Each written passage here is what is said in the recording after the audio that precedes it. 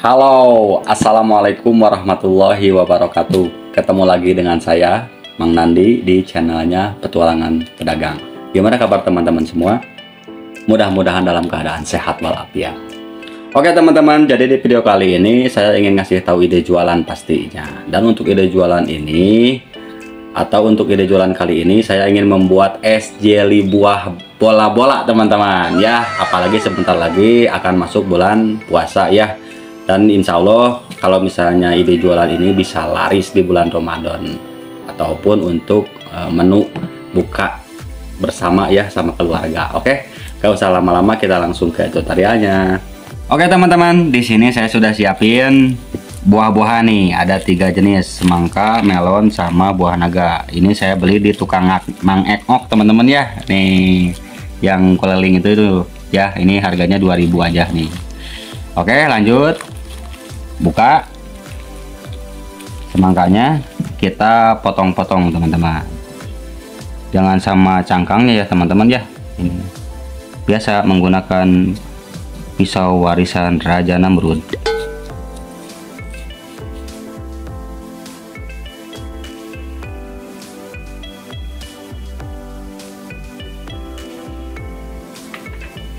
Oke lanjut. Di sini saya sudah punya atau siapin cetakan agar kayak gini ya teman-teman. Harusnya yang ukuran gede ya yang 33 lubang. Ini cuman 23 lubang teman-teman.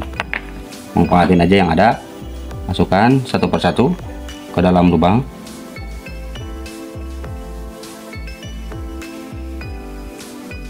Oh ini mau udah. Nih ya.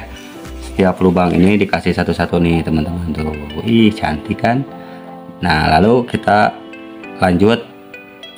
Pakai olah es jelinya teman-teman. Lanjut teman-teman. Di sini saya sudah siapin cita bolostron nih teman-teman ya. Lalu kemudian kita siapin Nutrija rasa plain yang kemasan 10 gram. Oke masuk semua. Waduh ngebuat teman-teman eh terasa di puncak. Langsung kita tambahkan agar-agar. Ya nih agak kayak gini ya. Nih sebanyak setengah sendok makan. Biar enggak terjadi airnya teman-teman. Enggak mengandung air tar nutrijanya lalu kemudian tambahkan gula putih sebanyak 100 gram. Aduh saya malawur teman-teman. Lanjut. Kita aduk dulu.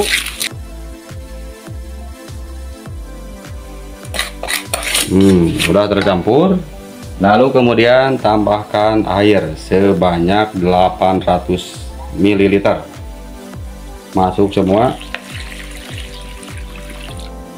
Pakai air sumur teman-teman. Jangan pakai air sawah oke? Okay? kita aduk dulu. Sampai semua bahan larut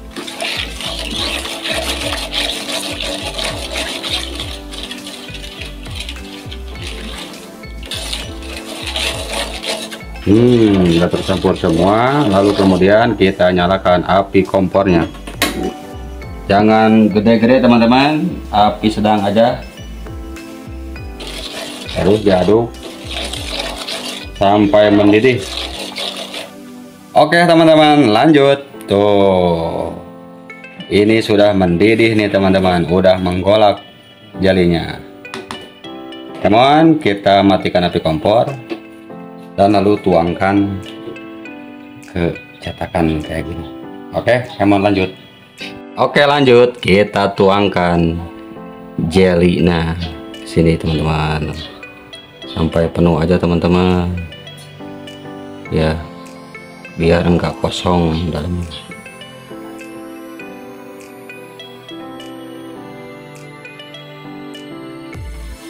Lalu kemudian kita tutup jarinya nih tutup terus tekan. Pelan-pelan aja teman-teman tekannya. Tuh sampai keluar-keluar teman-teman ya. Dan diamkan sampai padat.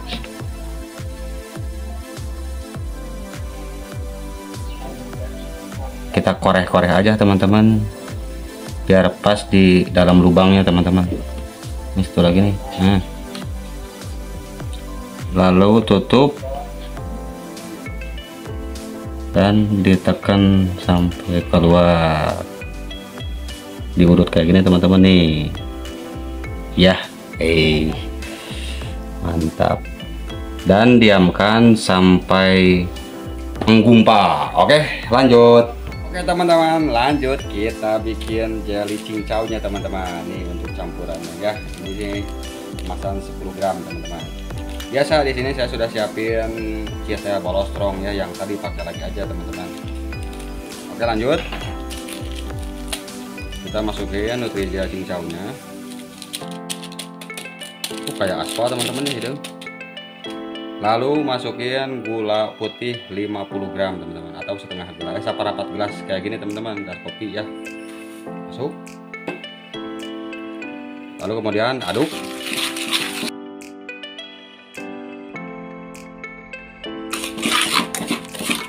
lalu kemudian kita tambahkan air sebanyak 400 ml air teman-teman. Masuk semua.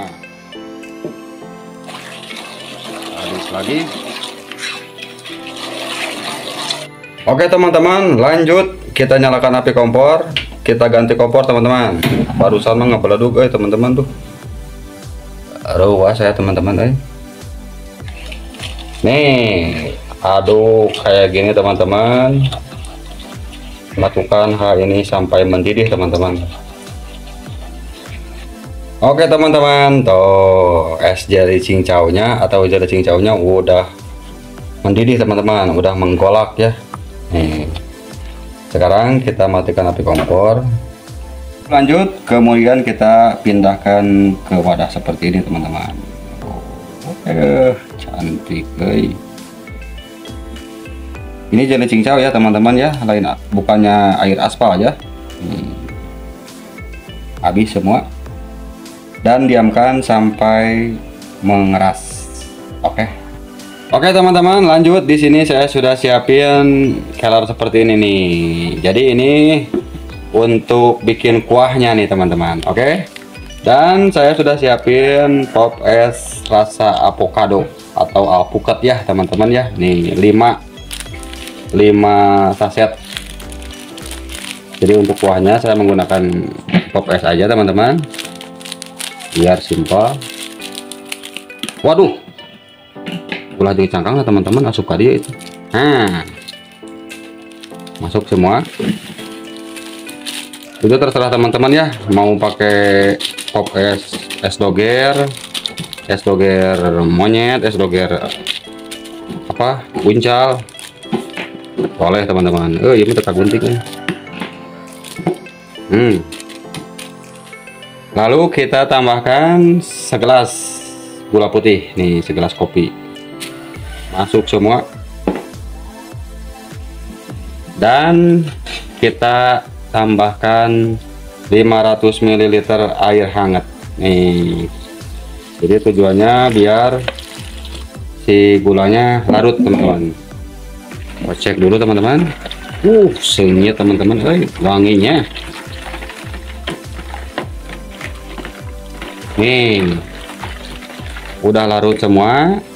Kita tambahkan susu kental manis. Nih saya menggunakan merek Dairy Champ terserah teman-teman ya mau menggunakan tiga sapi tiga roda tiga unca boleh tiga monyet juga boleh. Masuk setengahnya teman-teman. Setengah kaleng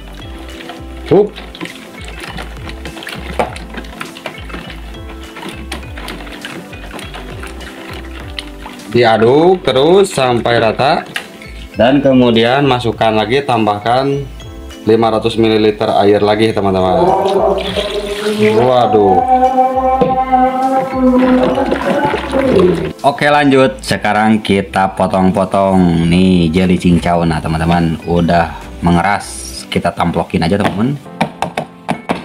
Nah mantap. Kita bagi dua dulu potong.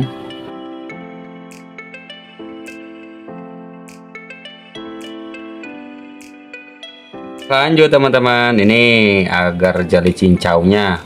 Nih jadi udah dipotong-potong semua Oke lanjut. Sekarang kita buka nih jelly buahnya teman-teman. Bismillahirrahmanirrahim. Nih udah jadi teman-teman. Ih cantik sekali eh.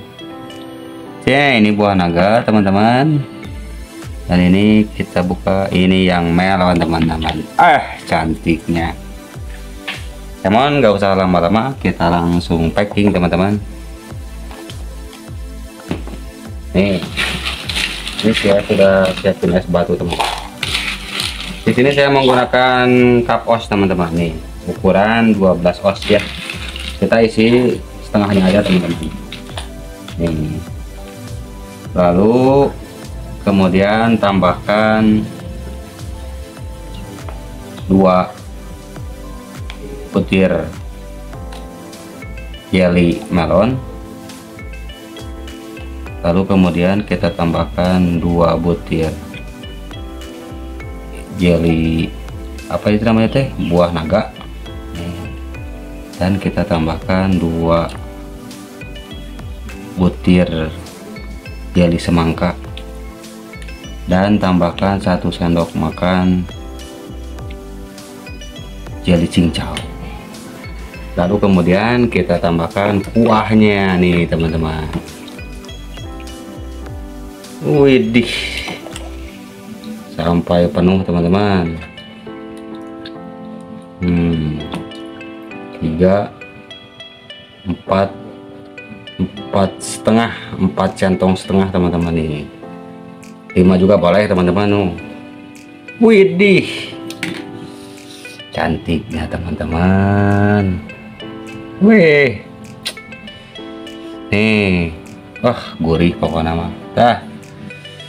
Lanjut kita tutup menggunakan tutup belenong kayak gini teman-teman. Set. Hmm. Beres. Nih. Kemon kita langsung icip-icip sama si Abah teman-teman ini sudah di packing semua udah di kapan semua teman-teman jadi semuanya ada 1 2 3 4 5 6 7 8 9 10 11 barusan sama anak saya dimakan teman-teman. Katanya nggak kuat pengen nyobain. Nih ini jadi jumlahnya 11 cup kayak gini teman-teman. Ya kalau dijual 5000 nih jadi berapa? Kalau 11 55.000 ya teman-teman ya. Modal satu cupnya ini 2.500 teman-teman nih Wah bati gua teman-teman ya banyak. Oke kita panggil dulu si Abah untuk nyobainnya teman-teman. Oke teman-teman tadi Mang Nandi kayaknya udah pegel dan suruh nyobain sama Abah ya. Dan nggak usah lama-lama kita langsung nyobain nih buatan Mang Nandi seperti apa ya. Aduh saya komisnya cocok nih kita buka dulu. Eh ini nggak usah dibuka dulu ini kita cobain dulu buahnya teman-teman. Bismillahirrahmanirrahim.